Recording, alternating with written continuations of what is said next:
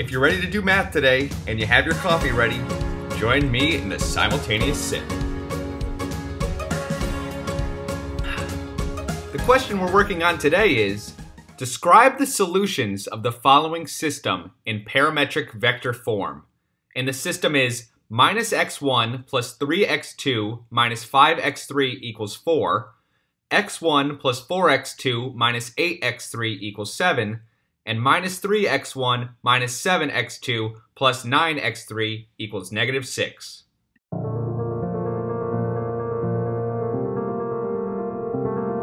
So we'll start by writing down the augmented matrix for our system, and then we could put this bad boy into reduced row echelon form.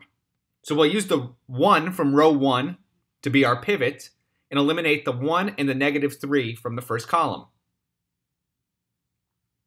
Now the 1 in row 2 will be our next pivot, and we can eliminate the 2 in the second column.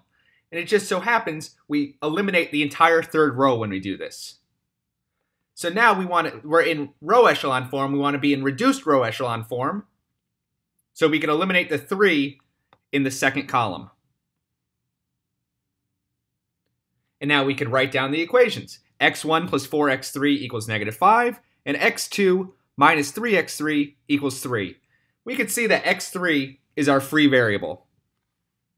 So now we want to write our answer in vector form. Solving for x1 and x2, we get x1 is minus 5 minus 4x3, and x2 is 3 plus 3x3. The constant terms could be their own vector, and every term that's multiplied by x3 could be another vector. Make sure to subscribe for more Coffee and Math with Dr. Weselcouch. Don't text and drive. Bye bye.